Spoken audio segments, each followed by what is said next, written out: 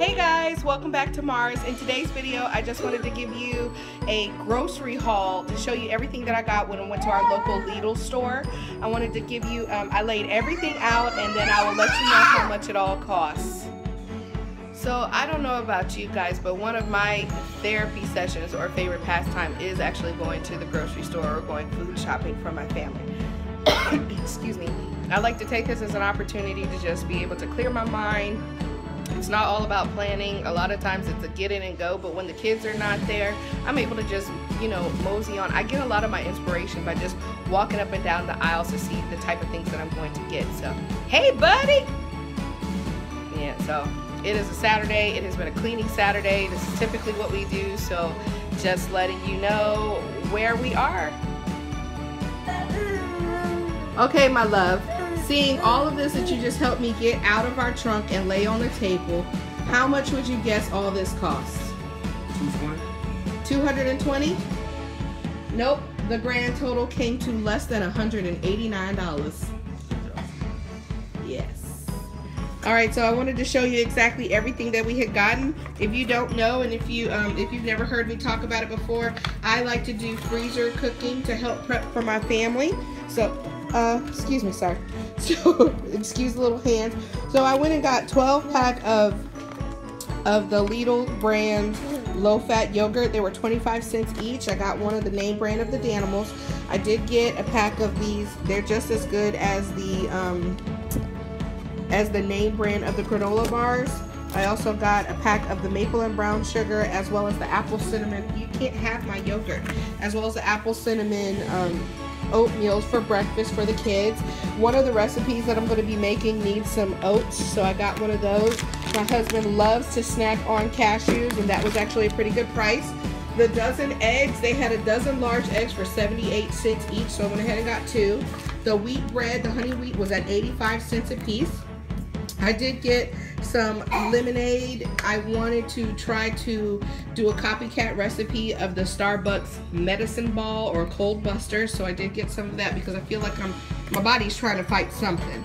Got the gallon of milk. I got three quarts of the beef broth because I'm going to be making some veggie and beef soup as one of my freezer meals. One of the other freezer meals is going to be needing some crushed tomatoes as well as tomato sauce and tomato paste. I did get an additional lemon pepper seasoning because I will be making some chicken wings for dinner tonight and I'd like to do the chicken, um, the lemon pepper chicken wings. I got some ground ginger for another meal that I'm planning. Got the name brand, just tastes just as well as Sweet Baby Ray's, but it is a Lidl brand and this was I think right at a dollar. Lemon juice as well. I did get one of the 100% apple juice as well as the 100% of the cranberry juice. I have gotten spring mix were on sale for um, this week and I think each pack was like 159 tomorrow we're having church in the park and so therefore it's going to be a big cookout so a lot of the produce I have for that is um, I was in charge of getting the size for the for the cheeseburgers or for hamburgers so you'll see that I, I will be washing all of this lettuce, getting this mixed leaf lettuce, putting it out to, you know, putting it out, washing it tonight and drying it so we can take that, as well as I'm going to be cutting up some tomatoes, some red onions, and then I've got a bunch of these packs of the mild cheddar for us for that. But everything else is for us at home. I've got I've got a new crinkle cutter. I wanted to try this stuff out, getting ready for prepping things for school lunches that are coming up. So I did get three of the cucumbers. They were 58 cents each. I got a pack of carrots, which I think was less, was definitely less than $2. A pack of the celery. This three pack of green peppers, I think was 189. Pack of dill was 159. This uh, sliced mushrooms was, you know, less than $2 as well. They had a pack of two pounds of Vidalia onions for, I think, right around $2. We've got the mini mixed peppers for one of the recipes that I'm going to be using. Again, I said the Roma tomatoes. The Roma tomatoes are for tomorrow's cookout. I did get some more butter because I always like to have some on hand. Sandwich meat I have is the Lidl brand of the turkey breast. It's a pound of the turkey breast, and I think that was it was less than three dollars for that, as well as the hard salami for sandwich mix. I have a lot of cheese. I do like to snack with um, with cheddar with cheese and almonds. And then for, I do, they had on sale I like to grate whenever I can instead of shredding, buying it already pre-shredded our cheese because you know they put something in there, whether something to make it anti-caking. So when you have a chance, just grate what you can. They had the Parmesan cheese this um, this week was on sale. I think it was just a Saturday and Sunday deal only for $2.59. So I got two of those, and then the I guess, you know, the Lidl brand of the Capri Suns or what have you, the juice pouches for tomorrow for church. Okay, so then I went ahead and I got, I mean, it's beautiful fruit. So I've got some pears, got some nectarines, I got a pack of peaches, I got, I have some green seedless grapes. I also have gotten three pound bag of the Gala apples, a five pound bag of the golden Yukon golden potatoes. I'm going to be doing some Parmesan turkey burgers and setting them up for the freezer. So one night we just have to pull those out and throw them on the grill. So I got two pounds of the turkey meat. Check this out. So they had Sanderson Farms whole chicken legs. I like to break these up. So that's three leg quarters in a pack. This one was for 265 I think that's the most expensive one. All the other ones I had gotten were, um, I think the range is between 230 and 265 I got eight packs of those because this can freeze up. I like to make my lemon garlic chicken and as well as my lemon rosemary chicken with these. Um, I'm a dark meat fan. I do do breast, chicken breast when I need to. But uh, for the lemon garlic chicken freezer meals, I'm gonna set up, set these up, and that'll be another. When I prep these, this will be another. When I do my big cook with me freezer meal day, this will be. I'll show you how I prepare these. For tonight, we've got the chicken wings.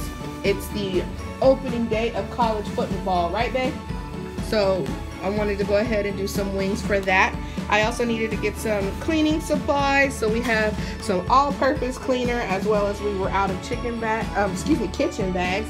But all of this for one less than 189 I think it came to 188 and some change so I just wanted to show you if you have a Lidl or an Aldi in your in your neighborhood it is worth going to check them out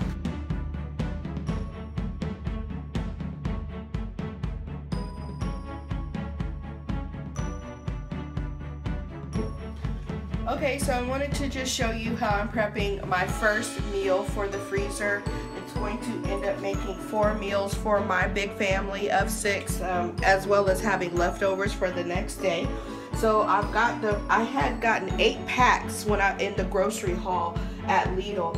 Each one of these packs has three um, leg quarters in it. So each Ziploc bag is going to have two packs total, which will be a total of six pieces of chicken, six thighs and six legs, because we're a dark meat family. Um, so the first thing that I've done with the, the first four packs, I'm going to do my first two, is I have cut them, you know, I've cut them in half, so I've separated the thighs from the legs. I have washed the chicken. Now I'm about to season it, and then I'll show you how I put it all together. Okay, so I just wanted to show you exactly how I do one of these. Um, hindsight, of course, is 2020. The one thing that I did forget to do is label this bag, but uh, it's pretty clear that this is going to be lemon chicken. So to the bag of the 12 pieces of chicken, and like I said, this will be good for one meal for us. And in terms of leftovers, it'll be enough leftovers to have lunch for Mel and I the next day. So therefore, what I do is I pour in a half a cup of oil, either olive or grapeseed, per bag. This is what you're going to do. So half a cup of the oil. Depends on how after I put in the oil, and it doesn't really matter which way you layer this, depending on how tart you like or how much lemon flavor you like. We like the lemon flavor a lot. A I lot. Put in, thank you, Sid. I put in just under a cup of lemon juice for these 12 pieces of chicken. And again, this is lemon garlic chicken, so I'll do about two tablespoons of the minced garlic. And I season my meat, just a simple seasoning of the pepper, the seasoned salt, as well as the um, as well as some onion powder. So that's it's simple seasonings. That's all that I do in here. And then after that, I put in a few shakes of the dried parsley. It's never good to it's never good to put in to freeze the herbs. I've been told so I like to use dried herbs when I'm working with my frozen meals. So I'll put in a few shakes of that probably about a tablespoon and a half and that is the end of this one. I have this really cool really cool stand that I had gotten. I get them a lot on Amazon but they help with keeping your bag still. So then I just tighten it up squeeze all the air out I will mix it all together to make sure everything is good. And then what I will do is stick this in the freezer. This recipe will make four. Like I said, I have another pack already in here ready for the next freezer bag. It's a gallon freezer bag, so it's not much. You gotta also be careful to not cross-contaminate. But what I do is just get it all together, start trying to work the mixture together. The night before I want to, the night before I want to serve this, I will stick it in the freezer, I mean take it from the fridge and stick it into the freezer the night before so that it can go ahead and thaw. Then it's your option. If you're at home, you want to throw it in your slow cooker for high on four, low on eight hours, or sometimes I just throw it into the oven 375. So that is what you do. And then of course some good sides of veggies. Side of this will make pretty good juice just like any other baked chicken. So that's how you do it. So I just wanted to show you the finished product. One thing that I forgot to mention is I always double bag my Ziploc bags just in case there's any leakage or spillage um, while they're freezing. You know, it'll be contained within the other bag. So I will label the outside of this bag and that is how I do all four of them. So on to the next meal. Okay, so here I am on to the second meal in my freezer batch cooking that I'm going to be doing tonight. I just paused because I had to get dinner on the table for we were what we were actually eating tonight. So um, my next meal is going to be Parmesan turkey burgers. This should make about 8 to 10 burgers so that'll be a good meal for us.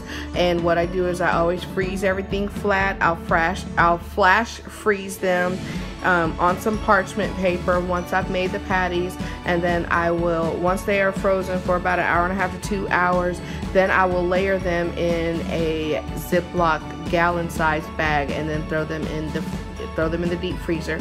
So in here what I have is two pounds of turkey I have some Asiago and Parmesan cheese mix, some parsley. I've done some garlic seasoning as well as some onion seasoning, a little bit of the seasoned salt and some pepper. Gonna mix it all together and throw it, throw it, um, throw, oh, I did also, because I like a little bit of the crunch, we did add some red onions, just a, a little bit of, maybe like a fourth of a diced red onion for all of this. So get all of this together, make the patties, and then I'll be done.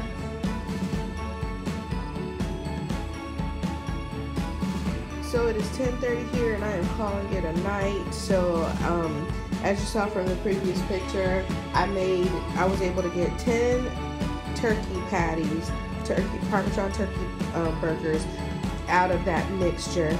I had flash frozen them for about 90 minutes and now I have taken them and um, stored them in a Ziploc bag and held well.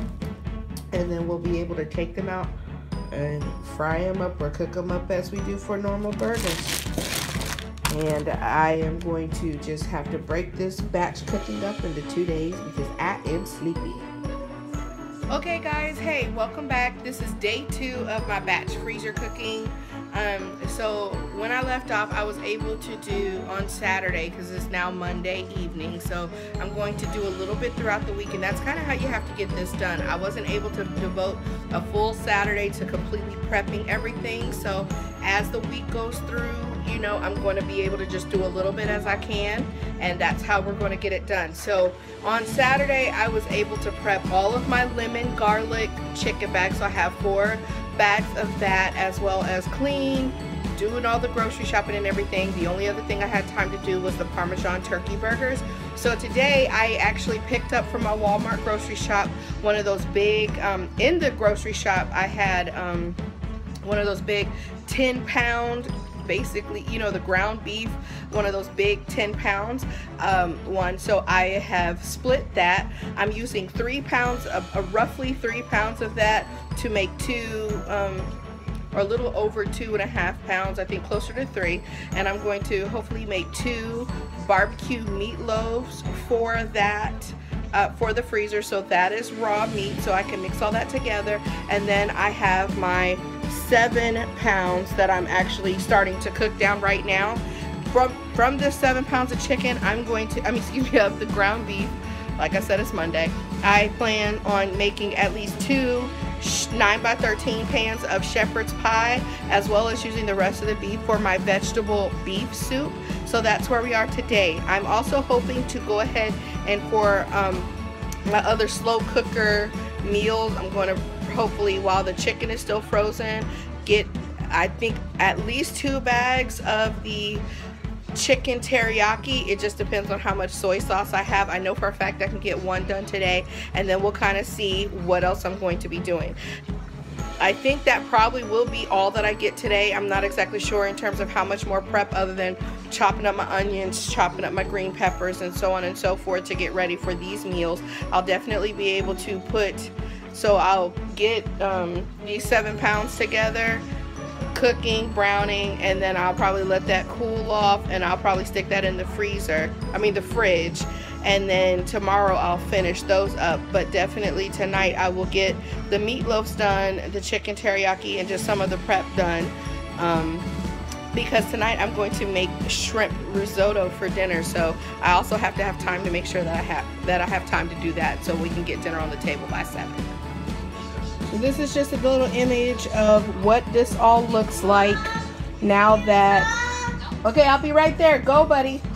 Of what it looks like. I know that this is a lot of grease but remember this is like the 7327 um, blend of the ground beef as well as two onion two chopped onions and two chopped green peppers.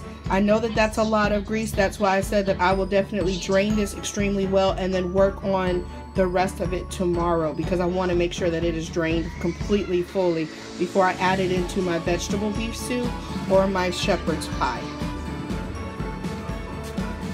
Okay, so I wanted to show you how I'm prepping my chicken teriyaki for my slow cooker freezer meal. I'm going to just show you how to do one, but hopefully I'll be able to get um, at least two bags. I'm to double the rest recipe to be able to get two bags. So again, I've got my Ziploc bag that's going to be going into the freezer on my stand.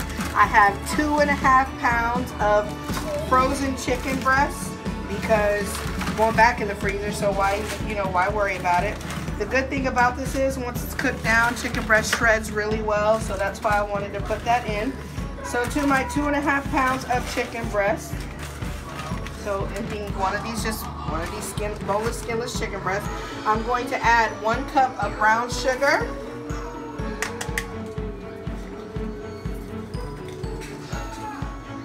One tablespoon of ground ginger. One cup, eight ounces of soy sauce. Or if you're going gluten-free, you know, change out everything you have to do the brown monk fruit sugar as well, the brown monk fruit or the coconut aminos or what have you. Then I have chopped up one green bell pepper as well as one onion. I'm to throw that in there.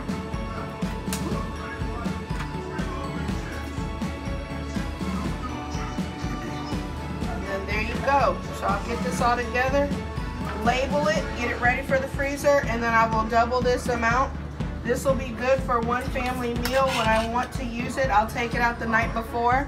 If I'm home, I'll throw it in the slow cooker for high of four hours or low of eight hours. And or if I'm in a rush and forget, I'll throw it in my pressure cooker. Biggest thing is just to make sure that your chicken is well cooked soft so that it's able to shred well. This will go great over brown rice or you know just used as a side with some veggies depending on how you're deciding to do your meal. So here we go. All done. Okay, just showing you the completed vegetable and beef soup.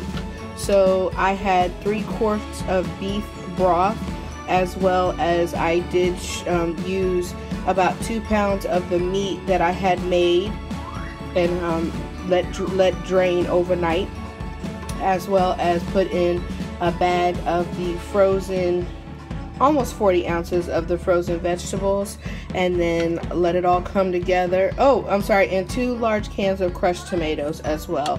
And then of course you add the seasonings as needed. I let it come to um, let it come to a boil then had it simmer for about 30 minutes. And now I'm waiting for it to completely cool down before I get it in the Ziploc bags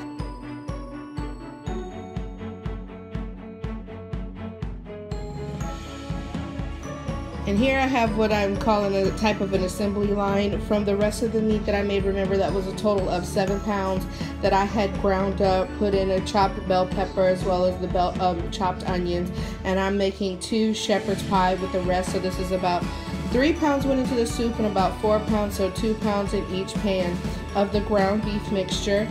And then um, I had already started one, so just to show you, you layer you layer everything like the shepherd's pie do the ground beef mixture first.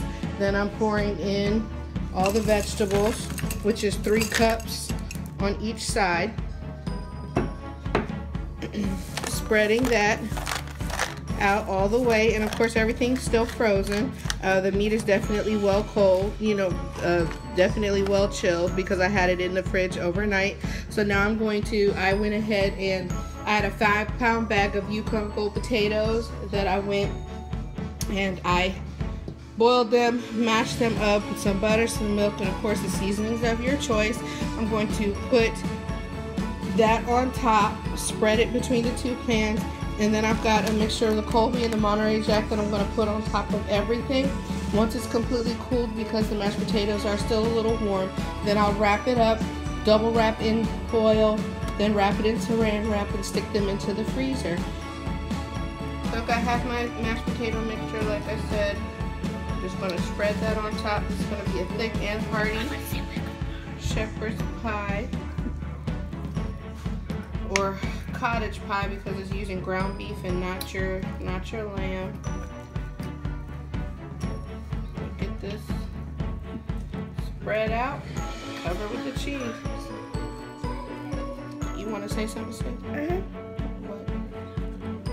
Welcome to MARRSS. And also, do not think this is uh, annoying and disgusting because there's food on this.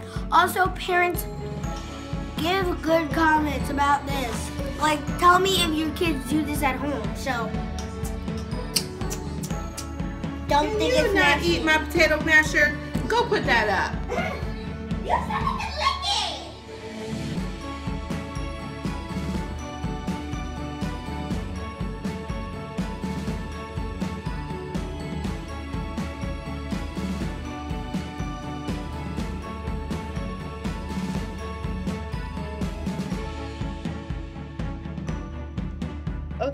this is the final day of my freezer cooking. I did spread it out over three days. There were a couple days that I just wasn't feeling good. So the last thing that I have done is I went ahead and made my meatloaf. Just the rest of that um, 10 pound roll of the ground beef. I chopped up some mushrooms, some peppers, some onions, put a little bit of oats in there and some eggs to bind it.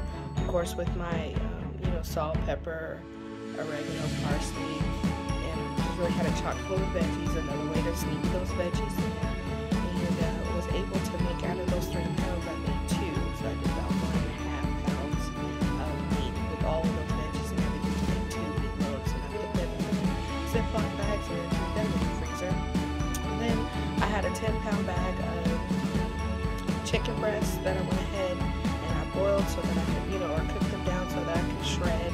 And I used them to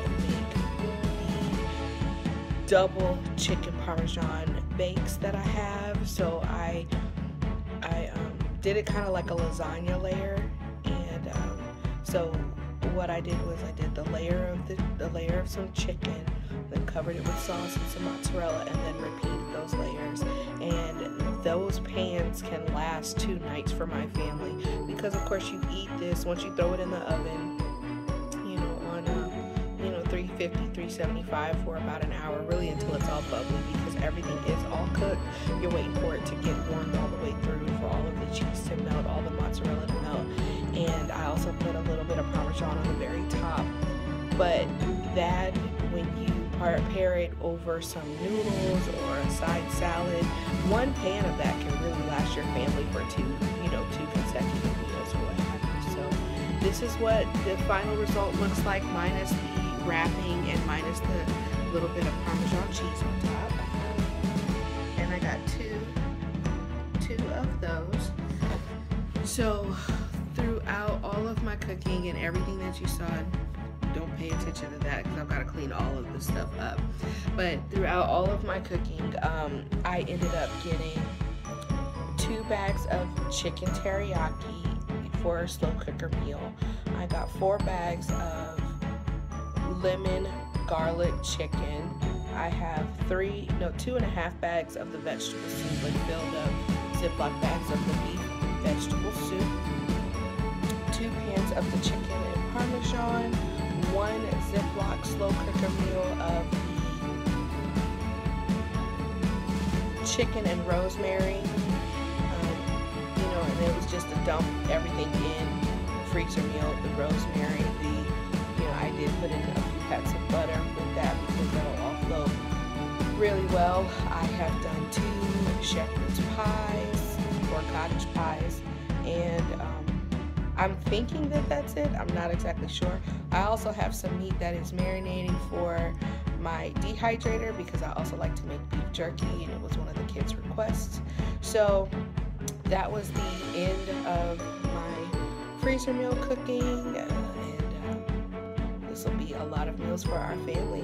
I like I try to get as much as I can in for those days when it seems a little crazy and maybe even times when as life happens I forget to take it out take out a meal the night before, and as soon as I get home, I get it straight from frozen, and I just add more time when I'm baking, you know, when I'm throwing it into the oven. I also have a pressure cooker, so I can do that as well with the with the slow cooker meals if.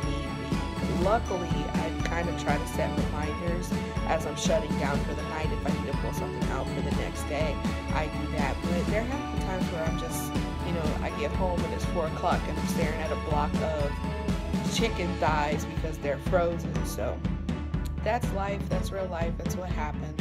But especially with school starting next week, I really wanted to get a lot of these out of the way because, as any parent knows, with the, when the new school year starts and getting back into those routines and those schedules, it can sometimes be a little a little bit difficult, especially since we have um, you know, the girls say and said are going to fifth grade and third grade respectively.